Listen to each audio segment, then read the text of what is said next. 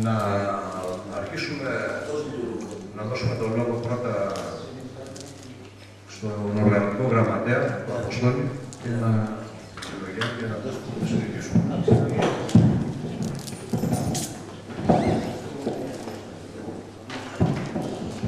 Λοιπόν, ε, συντρόφοι και σύντροφοι, φίλες και φίλοι, πρέπει να είμαστε σύντομοι επειδή έχει το debate και θα παρακαλέσω να ξεκινήσουμε με τους υποψηφίους βουλευτές που έχουμε μέχρι στιγμής και όσοι έρχονται στη συνέχεια θα παίρνουν το λόγο για ένα πεντάλεπτο, όσο μπορούμε να είμαστε πιο σύντομοι. Και στο τέλος θα κάνει ένα χαιρετισμό η... ο σύντροφος από τη Δημάρ, ε, η συντρόφισσα Χριστοφιλοπούλου που θα έρθει κατόπιν, ε, ο σύντροφος ε, οργανωτικού, ο, ο Ασκόνης ο Κώστας, ε, και ο σύντροφος ο, ο συντοπίτης μας και πρώην βουλευτής και υφυπουργός και αντιπρόεδρος της Βουλής, ο κ. Σοβρετός. Λοιπόν, ε, δώσε κατάλογο, Βάμπη, να ξεκινήσουμε το κατάλογο. Ναι, ναι, ναι. Ναι, ναι. Λοιπόν, σου δεν να κάτσε εδώ. Ναι, ναι, σωστό.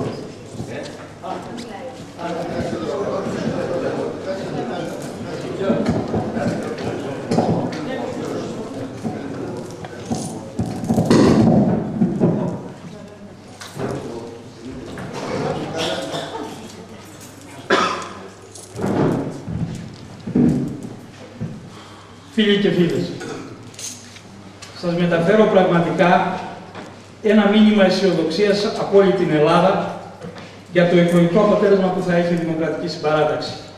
Τα μηνύματα είναι θετικά από όλη τη χώρα. Λίγες μέρες μετά την επισημοποίηση της εκλογικής σύμπραξης του Πασόκ με τη Δημάρ και δέκα μέρες πριν τις εκλογές, τα σημάδια και τα μηνύματα από κάθε γωνιά είναι θετικά. Η συνάντηση των δυνάμεων της ανανεωτικής αριστεράς με τις δυνάμεις της σοσιαλδημοκρατίας δημιουργούν ελπίδες στους δημοκρατικούς πολίτες που θεωρούν ότι από καλύτερες θέσεις θα παλέψουμε για την προοδευτική διακυβέρνηση της χώρας. Η εκλογική συμπαράταξή μας δεν είναι σημαία ευκαιρίας, αλλά αφετηρία για τη δημιουργία ενός προοδευτικού πόρου. Μια συμμαχία που θα περιλαμβάνει και άλλες δυνάμεις από το Προοδευτικό Κέντρο και τις δυνάμεις πολιτικής οικολογίας.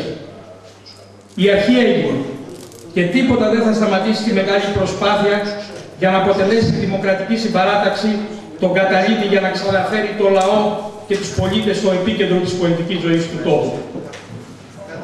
Με το ΠΑΣΟΚ δεν συμφωνήσαμε σε αρκετά ζητήματα στην ιστορική του διαδρομή.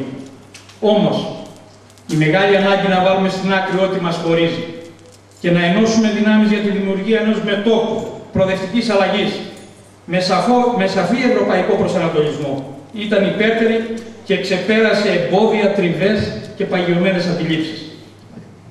Αντιλήψεις που δυστυχώς στην πατρίδα μας δεν δημιούργησαν κουλτούρα συνεργασιών και συμπράξεων. Σε αυτό βέβαια συνετέλεσε και το εκλογικό σύστημα, που περισσότερο ευνοούσε μονοκοπατικές κυβερνήσεις και αυτοδυναμίες. Όμως αυτός ο καιρός παρήλθε.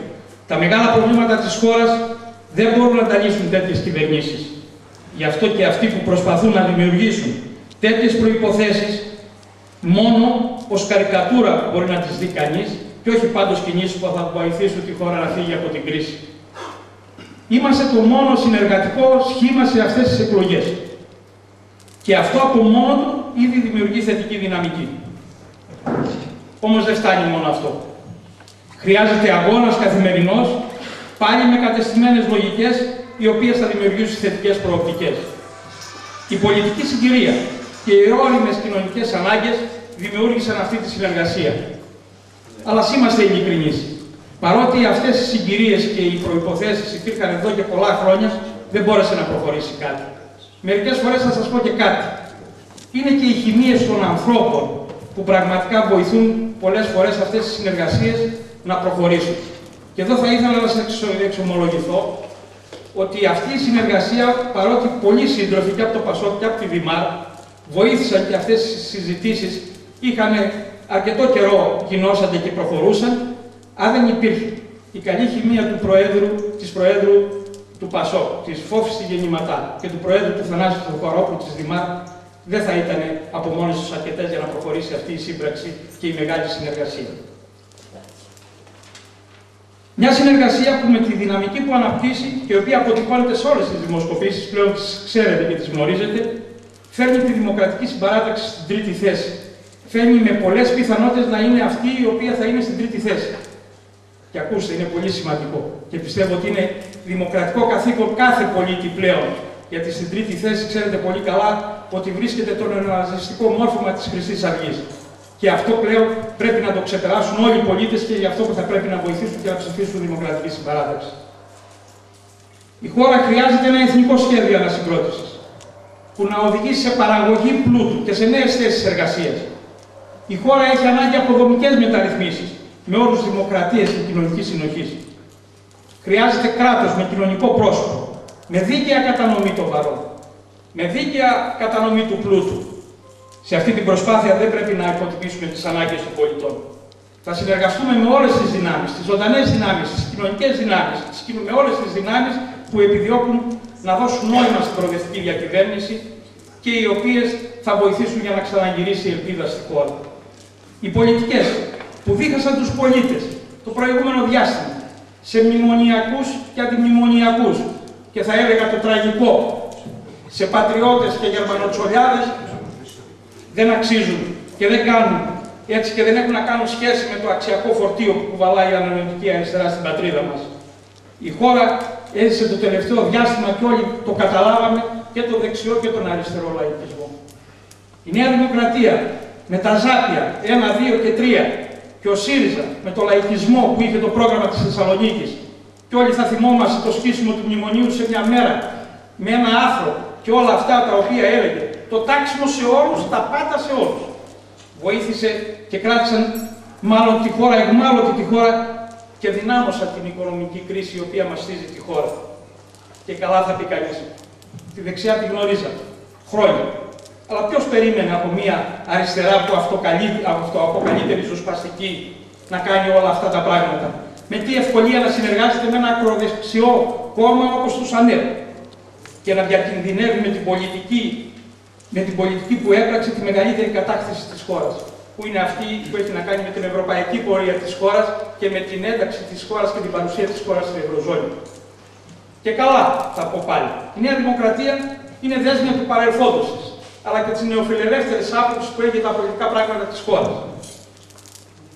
Θα ήθελα να πω εδώ, και παρότι με αφορά γιατί είμαι και γιατρός, και πολύ καλά έκανε η Νέα Δημοκρατία βάφτισε όλες τις απορριθμίσεις που έκανε και στι εργασιακές σχέσεις και στο κοινωνικό κράτος, τις βάφτισε μεταρρυθμίσεις. Θυμάμαι τον ανεκδιήγητο τον Άδωνη, ο οποίος βάφτισε μεταρρύθμιση, την απορρίθμιση και τη διάρκεια της πρωτοβάθμιας φροντίδα υγείας. Μέσα σε μια μέρα πενευόταν ότι ήταν ο καλύτερος μνημονιακός υπουργός κατάρτισε 2.500 γιατρούς στο πρωτοβάθμιο σύστημα φροντίδας. Εγώ, σαν που δουλεύω σε ένα μεγάλο νοσοκομείο στον Ευαγγελισμό, θα έπρεπε να δείτε τι έγινε σε όλο αυτό το διάστημα και τι υπέφερε ο κόσμος. Δεν είναι τι υπέφερε οι γιατροί, ο κόσμος τι υπέφερε σε όλο αυτό το πράγμα με αυτή την κίνηση που έκανε. Την οποία την βάθμισε μεταρρύθμιση. Και όλοι θυμόμαστε. Το Εθνικό Σύστημα Υγείας ήταν μια κατάκτηση και εδώ όλοι πρέπει να το γνωρίζουμε και να το, να το λέμε. Μια κατάκτηση που έχει να κάνει και με το να είναι στο γεννηματάς. Δυστυχώς Όλα αυτά τους τελευταίους 7 μήνες για κυβέρνησης από την άλλη ο ΣΥΡΙΖΑ πραγματικά δεν έχει κανένας να μας πει από αυτή την πλευρά μια μεταρρύθμιση που έκανε στην χώρα. Δεν έχει να μας πει. Μια σκληρή λέει μετα... έτσι έκανε και διαπραγμάτευση, η οποία οδήγησε εκεί που οδήγησε. Εκεί που οδήγησε με το ανεκδιήγητο έτσι, η, η, αυτό που έκανε για το ναι και το όχι και δίχασε και για άλλη μια φορά το λαό, Εκεί έκλεισε τη, ε, έπνιξε όλη την οικονομία, έκλεισε τις τράπεζες και χρέωσε, ας μην το ξεχνάμε, τις επόμενες γενιές με 60 δις. Όλη αυτή η ιστορία τόσο μας έχει στοιχήσει μέχρι στιγμής. Φίλοι και φίλες, οι αυταπάτες τελείωσαν. Οι πάντες οφείλουν να αναγνωρίσουν την πραγματικότητα και να πράξουν το αυτονόητο. Η χώρα χρειάζεται κυβέρνηση. Η χώρα δεν ξαναχρειάζεται εκλογές, όπως δεν χρειαζόταν εκλογές και τώρα. Χρειάζεται εθνικό σχέδιο παραγωγικής ανασυγκρότησης, Χρειάζεται σταθερό πολιτικό περιβάλλον που να ευνοεί τις, όλη, να- την οικονομική ανάπτυξη, χρειάζεται ανάπτυξη με νέες θέσεις εργασίας, χρειάζεται συνένεση και συνεργασία. Η επόμενη κυβερνητική λύση πρέπει να χτι- στηριχθεί σε αυτές τις μεγάλες συνενέσεις. Δεν μπορεί εύκολα για άλλη μια φορά να αποδράσει ο δεύτερος. Και δεν μπορούμε να το δεχτούμε τόσο εύκολα αυτό. Απαιτείται εθνική συνεννόηση. Χρειαζόμαστε προοδευτική διακυβέρνηση με συστράτευση όλων των φιλοευρωπαϊκών δυνάμεων, γιατί βρισκόμαστε κοντά στον κρεμό. Η απειλή για το Brexit δεν έχει τελειώσει ακόμα. Η αναπαραγωγή ενός νέου διπολισμού δεν ωφελεί. Χρειάζεται ένας ισχυρός προοδευτικός χώρος, χρειάζεται ανασυγκρότηση της σοσιαλδημοκρατίας και ισχυρός ενδιάμεσος χώρος. Όσοι πιστεύουμε ότι σε όλα αυτά φέρουμε την, πο- τον πολιτική πρωταγωνιστή στην προσπάθεια επανόδου της κοινωνίας των πολιτών και του έθνους προς την ανάπτυξη, τη δημοκρατία και την κοινωνική αλληλεγγύη, πρέπει μαζί να δώσουμε τη μάχη. Μαζί να δώσουμε τη λύση. Μαζί στη συμπαράταξη, μαζί στη χώρα.